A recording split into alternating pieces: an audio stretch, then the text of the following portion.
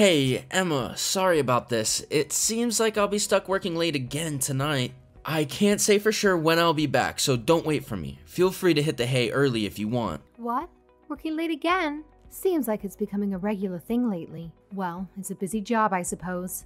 I'm really sorry, babe. It looks like I won't be able to make it back until after midnight.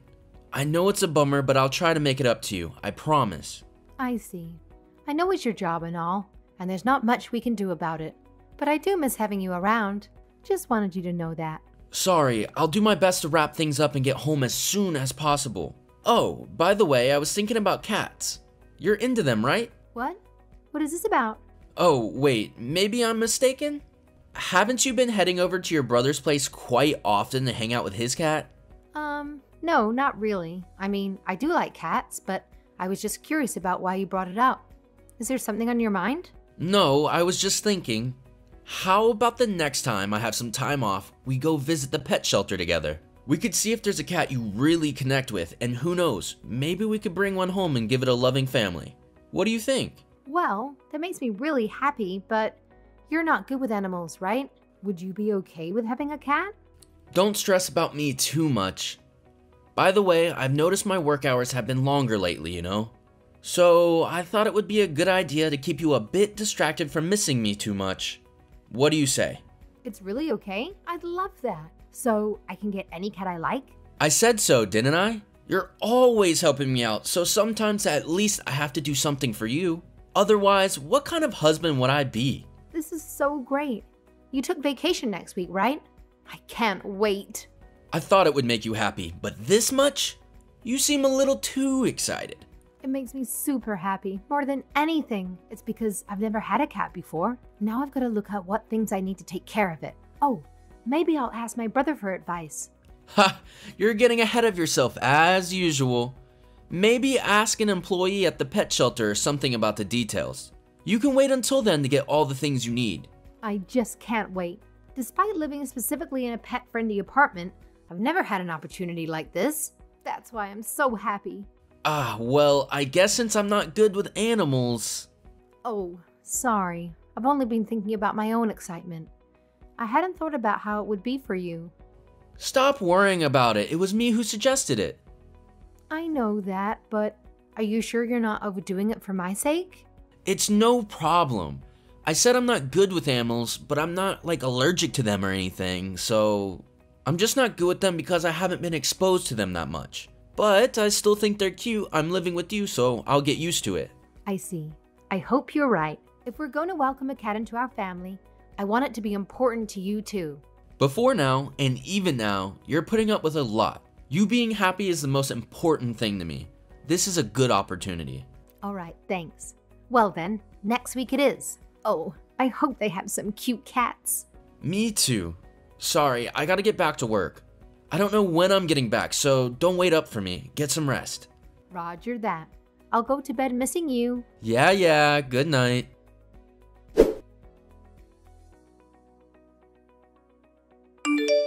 Emma, I'm really sorry, but I have to work late again today.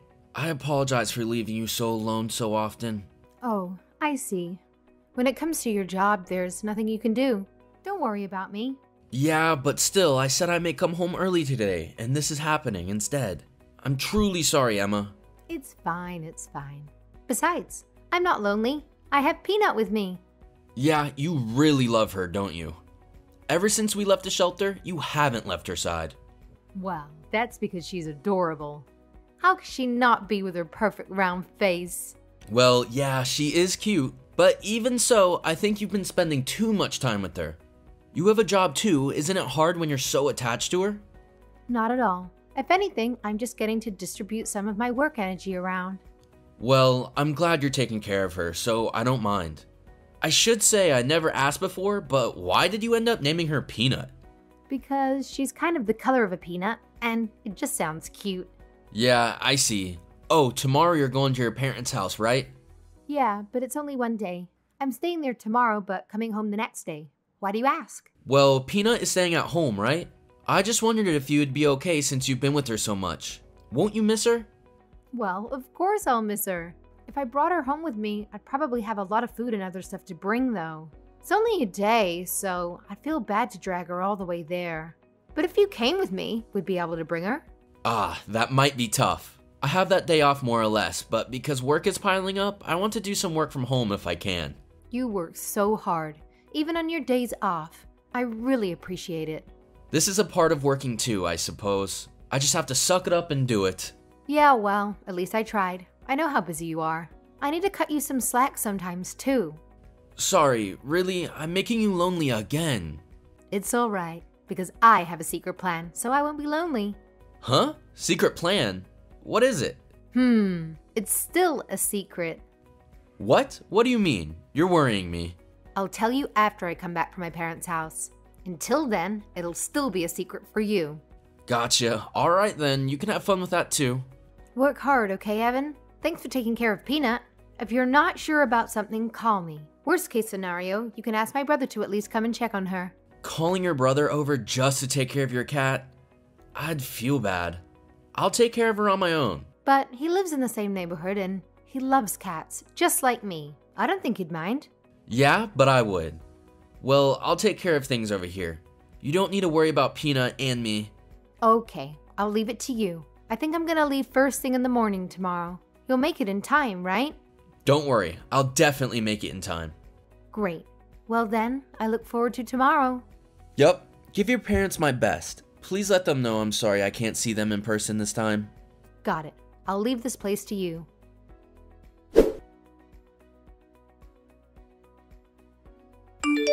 Hey, Evan. Anything changed over there? Changed? What do you mean? Nothing in particular has happened.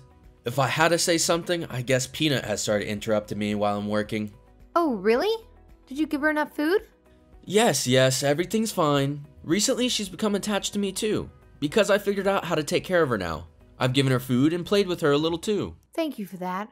How about work? Is it going all right? Thanks to you, there's an attack by Peanut every once in a while, but the rest of the time it's fine. If I finish what I'm working on now, I'll be done for the day. Nice. You deserve a break every once in a while. Don't forget that. How is it over there? You've been over there for a while. I thought you'd be home by now. Are you getting your fill? How are your parents? I'm on a drive with them right now. Both of them are great. So much so that it's almost too much for me. Both of them seem so young still. I have to follow their example. Is that so? I thought you had some energy in you still. Me? I'm already an old man. It's gotten harder to stay up all night recently. My body doesn't listen to me. I plan to go to bed right away after I finish work today. That soon? How much work do you still have left to do? About two hours. After that, all that's left is to do is sleep. And you're not here, so I'll be sleeping all alone tonight. I see. Well, before you go to sleep tonight, do you mind doing me a small favor? What is it? If it's housework or something, I've already got it done. Is there something else? Can you tell that woman beside you to not wear my pajamas? Those are my favorites, so I'd really like it if she didn't get them dirty. Huh? The woman beside me? Oh, maybe you mean Peanut. Ah, she's being such a good girl. She's not playing with your pajamas or anything like that. I'm not talking about Peanut. I'm talking about the brunette woman leaning against you. She's your mistress, right? It creeps me out to think that my pajamas are being worn by a woman like that. Make your change, right now. No, seriously, what are you saying? What you said just now about a woman next to me, about a mistress? Aren't you at your parents right now? Don't just say random things. Well, technically, we're driving. I mean, you're panicking so much because I hit the bullseye, right? Are you that surprised? No, that's not what I meant. I'm just saying don't say random things that you don't know are true. Or else, do you want me to have a mistress? I don't want you to have a mistress or anything. Have you gone this far and still not realized? I can see you. What do you mean you can see me? Inside the house. And while we're at it, I've also heard all your conversations with her as well. What kind of occult nonsense are you talking about? I told you, I still have work. I don't have time for your antics. I've been so obsessed with the cat recently, I didn't notice you were having an affair. So I'm just an easy woman who can be distracted from her loneliness by a cat, right? Sorry. I guess, for being such an easy woman. You're kidding! You set up a surveillance camera? Well, technically, it was a camera to keep an eye on the cat. I said yesterday, remember? I said that even though I'd be apart from Peanut, I had a plan to make it work. Huh? If you're going to set up something like that, you should tell me ahead of time. What an invasion of privacy! You've got to be kidding me. Surely you're the one who's kidding. I was going to surprise you last night with a voice call feature. I never thought I'd be watching you have an affair instead. I'm disgusted. I never imagined you could do something like this to me. You say that like you're justified. This is just like a voyeurism. Do you have no common sense? You know what, Evan? People who have affairs in their own home while their wife is away lack basic common sense. It really stings to hear that, doesn't it? If you do this kind of thing, what will happen to our marriage? We promised when we got married, didn't we? That we'd be happy together? Are you really thinking about tossing that aside like it's no big deal? How could you possibly think you have a right to say that to me? You continued your secret relationship in ways that I wouldn't find out, and you told her someday you'd be happy together forever. How can you say that to me now when you say that to her? Oh, don't get quiet now. Just because it's inconvenient for you. Well, whatever. I'll ask about the details when I get back to the house. What do you mean when you get back to the house? You're coming back? Yeah, with my parents. I told you, didn't I? We're driving. Our destination is the house. And you're bringing your parents along? What are you planning to do? I thought this was something we should handle as a couple, you know? You don't have to involve your parents in our business. It wasn't me who decided to do this. Oh, that's right. If you're thinking of escaping, it's not going to work. What do you mean? What did you do? Because the front door probably won't open. The front door won't open? What do you mean by that? I got my brother to make sure it wouldn't open. But I didn't need to tell you that, right? Your precious mistress is at the front door yelling that it won't open. You really can hear everything, can't you? I said so, didn't I? Oh, that woman's actually in quite a panic, isn't she? Why don't you calm her down? She seems to be having trouble, poor thing. No, no, Emma, listen. Let me explain everything. What? There's nothing I could possibly want to hear from you. Please listen, this is different. It's not that I'm having an affair or anything. You understand? What? Are you going to make excuses? If you are, then I'll ask you when I get there. We'll be there soon anyway. Won't it be more efficient if you do it in front of my family? Just wait a second. I just said this is a problem between us. It's a problem between you and me, so let's just talk about it, the two of us. We don't need to trouble them like this. You're in such a hurry. Is it that bad for you? Or are you thinking that if it's just me, you can deceive me with your words? Oh, I'm so easy of a woman that a cat was all it took to hide your affair from me, right? And now you're thinking it'll be easy to explain it all away, right? Oh, it's not like that. But look, this kind of thing is delicate. Do we really have to have this embarrassing conversation in front of my in laws? I'm sure you don't want to either. It's a little too late for that, isn't it? I've been watching you have your affair all day. I have nothing to be ashamed of, so sit back and relax until we get there.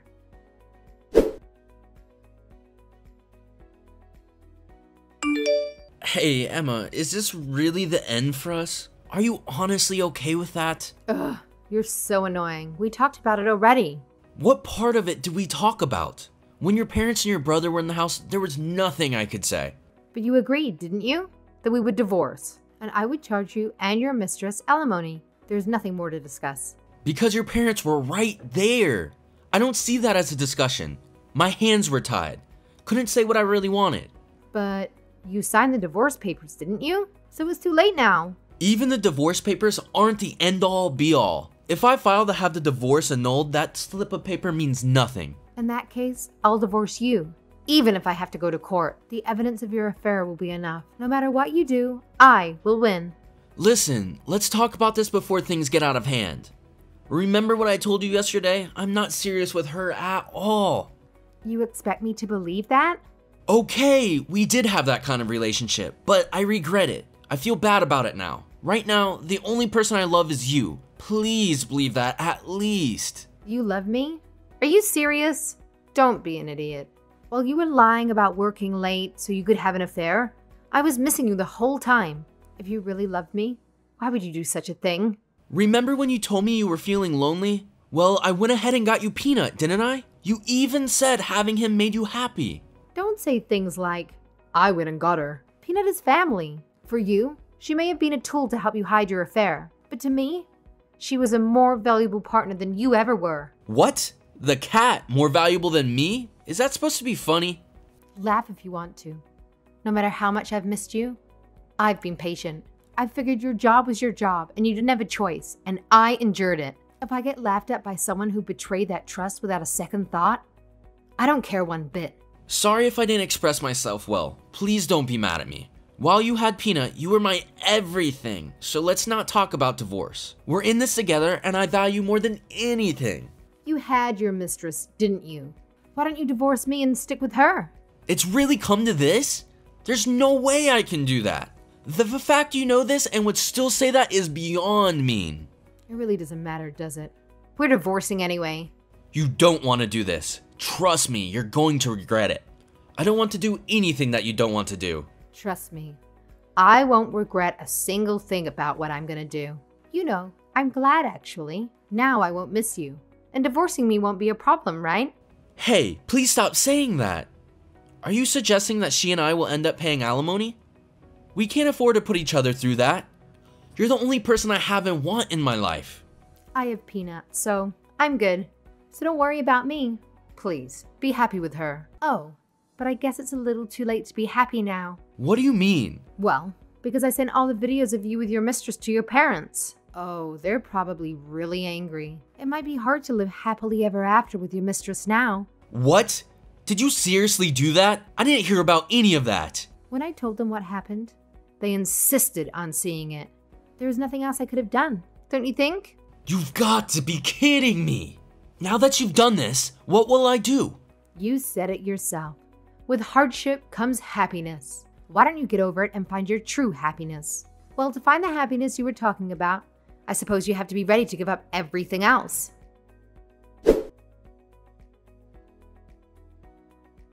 After that, Evan and I went through the divorce process without any major complications. Fortunately, I had evidence of his affair, which made it impossible for him to deny. As a result, I was able to receive alimony for him, and it was only fair that his mistress also contributed to the financial settlement. You could say it was a complete victory for me in that regard. Furthermore, Evan's parents disowned him after witnessing the evidence of his infidelity. His mistress, being a junior member of his company, faced rumors and gossip within the workplace. The consequences were severe for both of them, as they lost their positions and were ultimately forced to resign. Given the circumstances, their relationship couldn't withstand the pressure, and they broke up when they left their jobs. I can't speak for his mistress's current situation, but it appears that Evan is facing significant challenges in his life. Engaging in an affair is not just a betrayal of a partner, it also betrays the trust of parents, siblings, and those around you. There is no convenient narrative where people who betray so many others find happiness for themselves.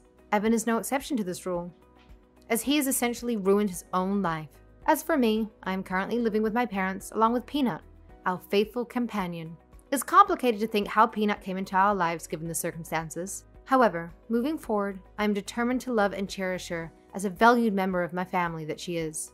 In the end, the affair and its aftermath had had far reaching consequences for everyone involved. It serves as a reminder that betrayal carries significant repercussions. While Evan's actions has caused him great hardship, I am focused on rebuilding my life and finding happiness in the support of my family and the companionship of Peanut, who brings me joy and love.